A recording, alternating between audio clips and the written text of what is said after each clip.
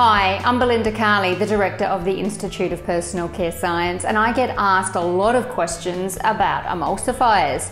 What's the best type to use? How much should you use? And how do you pick from the many emulsifiers out there? Well, let me start by saying there's no one perfect emulsifier that's going to fit all of your formulation needs. One of the first selection criteria you will have is your brand philosophy.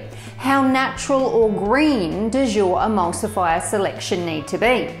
This can, in some cases, narrow your selection somewhat, although there's still loads of naturally derived emulsifiers out there for a range of formulation types that you can pick from.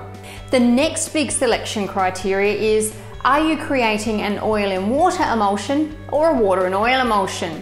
There's different emulsifiers that will suit each of these emulsion types. So that's a big selection criteria that you'll need to be sure of when making your emulsifier selection. The next thing to consider is how much dispersed phase do you have? So the more dispersed phase you have in your emulsion, generally the higher the input of the emulsifier that you will need. Which brings me on to another question I get asked a lot, and that is how much emulsifier should I use? Well, it depends on the emulsifier grade you're using. So different emulsifiers will require different inputs in different emulsion types. So it's really best to look to your supplier's details and information specific to the material you're working with.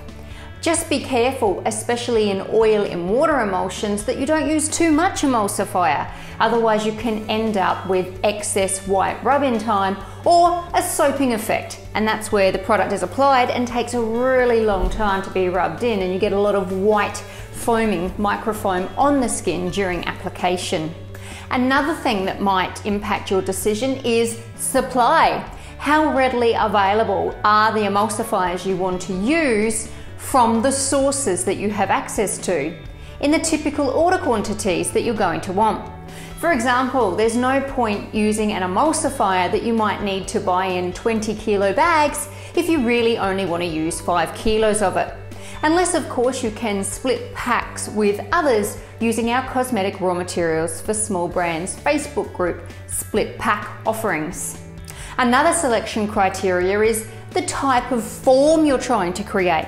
So if you want to build really viscous, creamy emulsions, you're going to need to use more waxy emulsifiers. Those waxy emulsifiers is what helps build viscosity and body in your creams and even your lotions. If you want to create runny products like milks, for example, then liquid emulsifiers are fine to use. And if you want to create water in oil emulsions, well, these types of emulsions are generally very thick anyway. So you tend to want to use some liquid emulsifiers to help keep that viscosity down. If you want to create cream gels, then polymeric emulsifiers are the best type of emulsifier to use. I've got a video specifically on polymeric emulsifiers so that you can learn more about them too. Some of you might also be familiar with the concept of HLB, hydrophile lipophile balance, and this is a scoring system that cosmetic chemists use to determine the typical activity of an emulsifier when it's put into an emulsion. If your emulsifier has a score of 9 or above, it will typically be used to stabilize and form oil in water emulsions. If that HLB value is 8 or below, it will typically form and stabilise water in oil emulsions. So there's lots of things to consider and there's no one perfect emulsifier that's going to suit all options.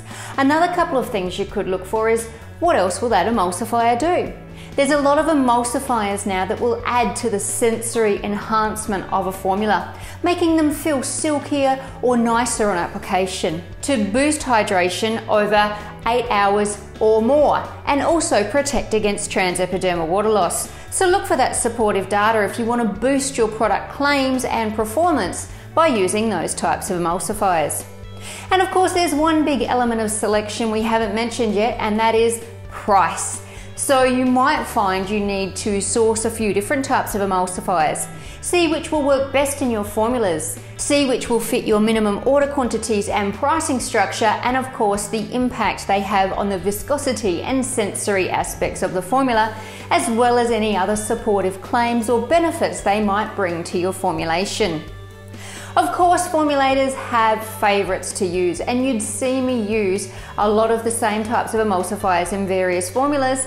And I also provide you with a lot of videos where new or innovative emulsifiers help me solve a formulation issue or challenge. So you might need to select a more innovative material, like one I've used in various videos, to solve your formulation issue.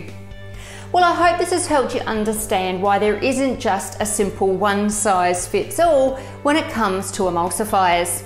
I get asked a lot about preservatives too, and I've got a video you'll enjoy on a preservative overview and selection as well, where I talk about some of the reasons that you might select different preservatives, what you should look for, and also how much you should use.